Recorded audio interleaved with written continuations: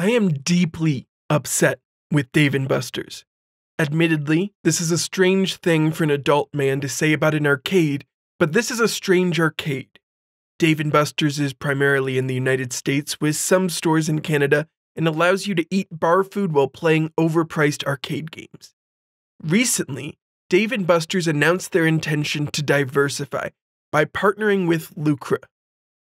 This partnership will allow people to gamble on the games at Dave and Buster's. That's right, people will now be able to gamble on skee ball.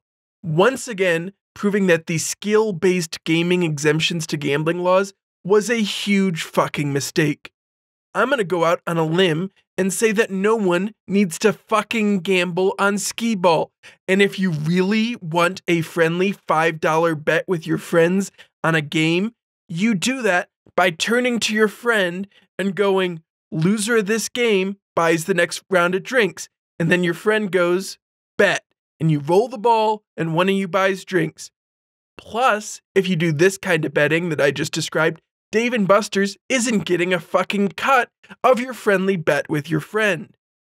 At a more basic level, not everything needs to be a fucking casino.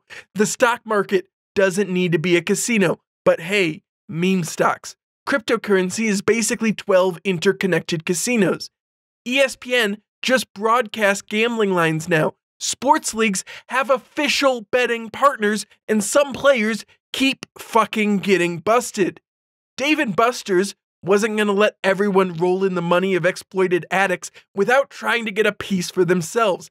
And Lucra's regulation dodging pitch sounded like just the way to bring skee ball into the DraftKings influence timeline we live in. In short, I am mad at this arcade because they are desperately trying to come up with ways to make a little more money by offering an addictive product when the primary financial benefit to the business comes only if they are able to attract and exploit enough addicts.